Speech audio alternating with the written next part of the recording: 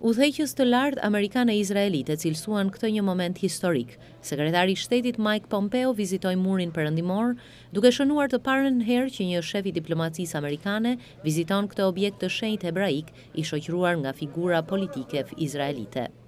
Për dekada me radhë, zyrtarët amerikanë kanë shmangur vizitat tek Muri Perëndimor me udhëheqësit izraelitë për të ruajtur një masë neutraliteti, ndërkohë që mbi këtë pjesë të Jeruzalemit kanë pretendime si izraelitët ashtu edhe palestinezët. Vizita u pasua nga një postim i Presidentit Trump në Twitter, ku thuhej se pas pesëdhjetë e dy vjetësh, Shtetet e Bashkuara njohin sovranitetin e Izraelit mbi lartësitë Golan. Siria e cilësoi njoftimin e administratës një akt të papërgjegjshëm dhe kërcënim ndaj paqes dhe stabilitetit ndërkombëtar. Ministria e Jashtme në Damask tha se komentet e Presidentit Trump konfirmojnë një anshmërinë e verbër të Shteteve të Bashkuara pro-Izraelit, duke shtuar se Siria mbetet e përkushtuar t'i çlirojë lartësitë Golan me çdo mjet të mundshëm.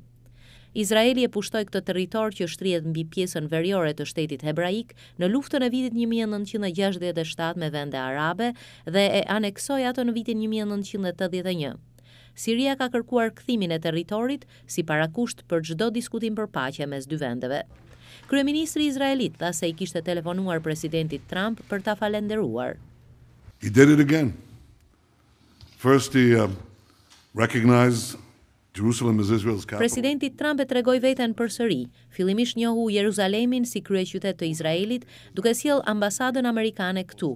Më pas u tërhoq nga marrëveshja e tmerrshme me Iranin dhe rivendosi sanksionet.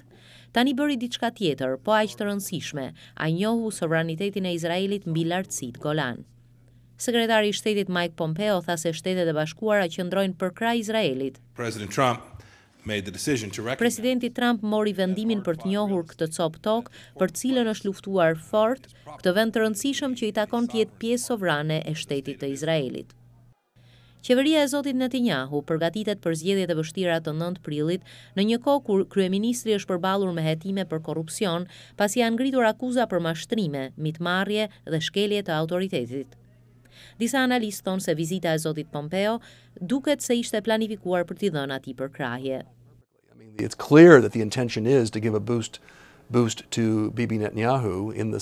Është e qartë se synimi është për përforcuar pozitat e kryeministrit në këto zgjedhje.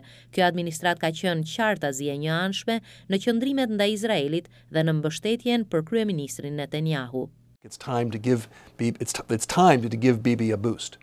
Gjithashtu, Sekretari Pompeo dhe Kryeministri Netanyahu ranë dakord të punojnë së bashku për t'iu përgjigjur shqetësimeve rajonale lidhur me agresionin iranian, siç u shprehën ata.